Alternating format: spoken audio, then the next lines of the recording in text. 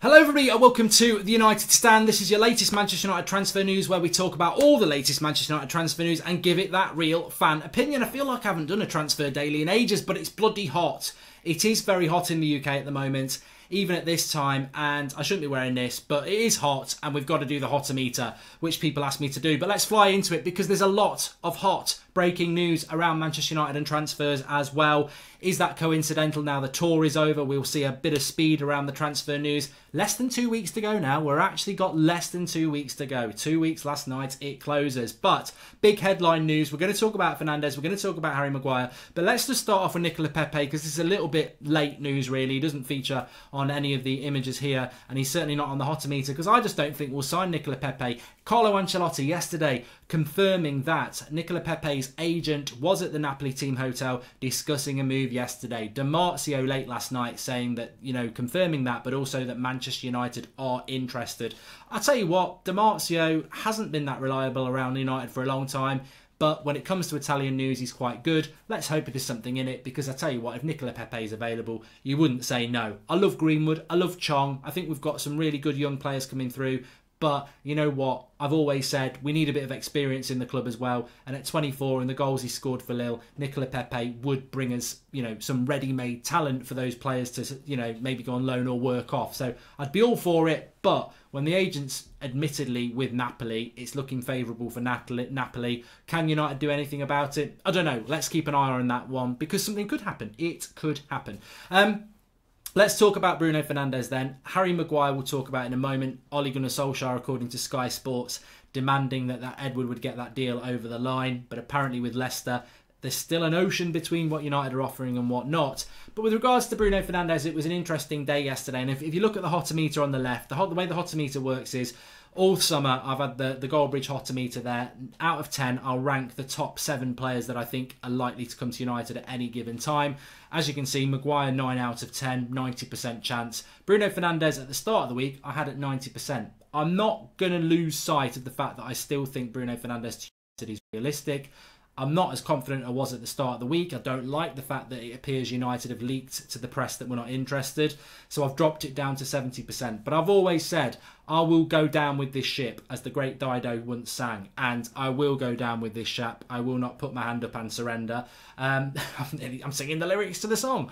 Um, but no, look, I've, if I have to sing with, with ship Bruno Fernandes, I'm happy to go down with it because I think he's so significant, so important to Manchester United, and I don't understand why we'd move away from that deal. So I am just hoping that the things I've heard around all, all summer around United, what I was told back in March, I'm hoping we're going to stay the course of a football club and sign a player that would be very significant for us and vastly improve us in that weak midfield area in relation to the depth we have. So I'm going to stick that we're still going to do the deal, and I'm going to hope that a lot of what United are releasing is about trying to drive that price down as we approach the end of the transfer window. Manchester United need to sign a midfielder. Bruno Fernandes is the perfect midfielder for us. Milinkovic Savic, as you can see there, look, I think Paddy Power have got us 1 to 14 on, which is basically we've signed Milinkovic Savic. The Italian reports are very convinced that Manchester United are going to sign Milinkovic Savic. And I just wonder if there is anything in this. I'm still earing towards the, the, the, the,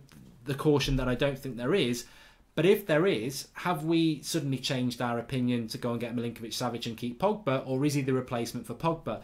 And as I said last night on Twitter, what I find really interesting is Bruno Fernandes was scouted all of last season by Manchester United and it was a priority signing going into the summer. Where, however high priority you can guess for yourselves, but he was a priority signing for United. He was certainly on the list. Um, for United to park that deal and go and get Milinkovic Savic would be odd. And I like Milinkovic Savic, he's a very good player. But what I'm saying is, Milinkovic Savic was a Jose Mourinho target a year ago. How weird would it be for United to put a lot of time into Bruno Fernandes, looking like they're going to sign him, move away from that deal to go and get a Mourinho target? And it's and if that happens, and we don't get Fernandes but we get Milinkovic Savic and we keep Pogba, that to me looks like well, who's in charge of transfers here then? Is Ed Woodward making decisions here? Because Woodward would have been looking at Milinkovic Savic with Mourinho a year ago, and then a year later we go and sign that player. Is Milink- is is Woodward and whoever's in charge of the board going, no, we don't think Bruno Fernandes is a good signing. We're going to get Milinkovic Savic in instead, and that in, in, in many ways is quite a scary proposition. But let's wait and see what's hap- what happens with that. I'm still hopeful on Bruno. Um, with regards to Harry Maguire, it was coming out after the game yesterday from Sky Sports that Ole has said, look, go and get me Harry Maguire. We need to get Harry Maguire. We need a centre back at Manchester United. I'm still confident we'll do the deal, but I wouldn't be 100% because are United willing to go to the fee that they need to pay? And I think in many ways we do look a little bit stupid, don't we? You know, we're holding out for ridiculous money for Lukaku on one hand, but on the other hand, we won't pay the going rate for Harry Maguire. And I say the going rate, I'm bored of saying this. He is, um, Van Dijk went for 75 million. He's English, he's Premier League proven. He's got to be worth around 80 million pounds, whether you agree with that or not. He has to be in today's market. So why United not offering that money? Because I think Leicester would be more than happy to take that. But at some point, I think over the next week or two, we will be announcing Harry Maguire, which uh, which which we which which which which would be nice to do. Um, we spoke about Pepe, we spoke about Milinkovic Savic, we spoke about Fernandes, um, and we've spoken about um, well, look. When's Lukaku going to happen to Manchester United? I mean, I think that is quite interesting. And whether Lukaku ends up staying at United. I think in many ways, if Manchester United kept Romelu Lukaku, it would be quite a sad situation. Elton John, it's a sad, sad situation, and it's come more and more absurd. Rubbish singing there, but um, no, look. If we don't, if Lukaku ends up staying, I think it's sad for everybody. It's sad for Lukaku because he wants to go. It's sad because Inter Milan want him, and it's sad for Manchester United because what we've seen with James and Rashford and um, Martial and Greenwood, and even Lingard to a certain extent, even though he's not played that well, we have seen pace and move, maneuverability, quick movement of the ball. All right, some of them haven't played that well at times, but they're all capable of doing that. You think about the way United's front three have played on pre-season, and then you drop Lukaku into that. You lose straight away. You know, it's like a tractor coming to get the ball and turning and knocking it off without Lukaku, with Lukaku, you've got to play Lukaku, and I think that stunts what we're trying to grow as a team. And look, I don't want Alexis Sanchez to stay, but Alexis Sanchez does have a good touch of the ball. He can pass and move, so he'd be far more suitable for our front three at the moment than Lukaku would. So hopefully, we'll see him move on. Interestingly, there was discussion yesterday about Moussa Dembele. Sky Sports talking about Moussa Dembele, the Lyon striker, again being a replacement for Lukaku. I mean, look, somewhere along the line, we've got to accept that 80% of these stories at the moment are total and utter nonsense. There's no way we're signing Moussa Dembele, Nicola Pepe, Bruno Fernandes, Harry Maguire, and Milinkovic Savic. We'll be lucky to get two of those. I don't think we're going in for Moussa Dembele. I've spoken about this all summer. Lyon will not sell, I believe, more than three players, and they've already sold Fekir, uh, Mendy and Dembele. So I don't see Moussa Dembele leaving Lyon. I really, really don't. So I just think that's being thrown around because I think if you are a news outlet, you you know that Manchester United stories sell. United are trying to sell Lukaku. Who will they replace him with? Because it's boring to say they won't replace him with anybody, but I think that's the truth. I don't think we necessarily do need to replace him with anybody. Um, if you look on the Hotometer, looking at other players on there, I mean, Longstaff is dropped a little bit as well. I think he was up to 80% at one time. He's down to 60%. Steve Bruce has said he doesn't want to sell him. Um, look, whether United can get him out of there. I think the problem with Sean Longstaff, in a sentence, is United really want him. They've scouted him and they've obviously highlighted a player there that they think can become one of the best midfielders in England. But unfortunately, he's only played nine games for, for, for Newcastle if it's Declan, if, if he's had a whole season in the Premier League like Declan Rice, and Newcastle say will sell for 50 million, you can sort of justify that. But you can't you can't justify spending 30 million on a player that's played nine games. But from Newcastle's point of view, they're like he's under contract. We know he's going to be a good player. We know in a year's time, with a season with us, he probably will be worth 50 million. Why would we sell him now for 25 million? So maybe it's a deal that can't be done, because United would be paying ridiculous money for a person who's got nine games and is just potential. But we'll wait and see. We'll wait and see. Uh, Koulibaly, look, if, if if we got Koulibaly, great, but I, I don't see us swerving from Maguire. To be honest, I know people. I've read that if United don't get Maguire, they'll go for Koulibaly. I mean, it really is like saying I'm going to drive. I'm, i want to buy that Mini from the next door neighbour, but if they don't sell it me, I'm going to buy a Ferrari. You know, it doesn't make sense. So I don't think that. Gareth Bale's obviously around 30% chance of coming to United, and Ben Yedder as well. Look, I don't see. I don't think that United will go for Gareth Bale.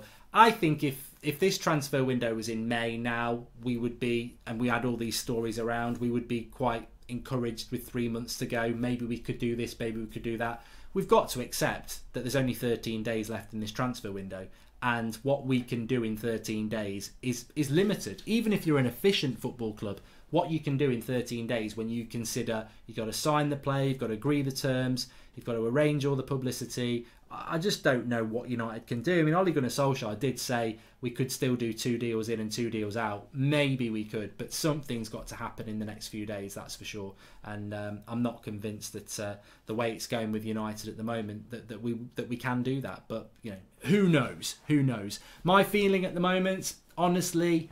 Um, well, what's your feeling? Get in the comments actually, because it'd be very interesting to see what you lot are thinking. So get your comments in below. 13 days to go. Unlucky for some, how many deals do you think Manchester United will do? Personally, I think right now I'll stick with Harry Maguire being done, as I've been told. I will stick with Lukaku going because I think that will happen. Um, beyond that, I think you're moving into you know predict. I mean, I've got to stick with Bruno Fernandes, haven't I? I've, I've said it all summer, so I've got to stick with the Bruno Fernandes deal, and I've got to go down with the ship if it doesn't. But it's one-one if Harry Maguire happens because I did say that three weeks ago. Um, if neither happens, forget about it. I'm not doing transfer shows anymore. Um, so yeah, Harry Maguire to come in, Bruno Fernandes to come in, Lukaku to go out, and Pogba still worries me. Watch this space with Paul Pogba, people. Like really, seriously. I surely he's going to stay now, but why do we think he's going to stay? Maybe he's just gone on the tour to keep everybody happy. If he goes, oh, how do you do the replacement of Pogba as well and do five deals? So I, I don't know. I think the three, I'm confident about Maguire. I'm confident about Lukaku going. Bruno Fernandes, I'm just being stubborn on, and then I don't know. I don't know what, what else will be done, but we're definitely running out of time, aren't we? Anyway, please do smash a like on the video. Subscribe to the channel if you are new. Very, very, very. Um, uh, just keep an eye out. Keep an eye out on the United stand today. Got a few surprises for you coming up probably around this afternoon, early evening. Um, pineapple. Keep out an eye out. Anyway, subscribe, smash a like on the video, and obviously, if anything happens, we will go live. I think we're moving into that territory now. I don't know when United do get back from the tour, but we don't go to Norway till Tuesday. We're back in Europe now. After Norway, we're back in the UK because we've got that Cardiff game on the Saturday. So I'm intrigued as to what Manchester United are going to do over the next few days, and I think we will do something next week, surely. You can't leave it all till the last week. So let's see what happens. Let's stay positive. Are you positive? Get in the comments. What deals do you think United are going to do in and out in the next 13 days? Thanks for watching. I'll speak to you all soon.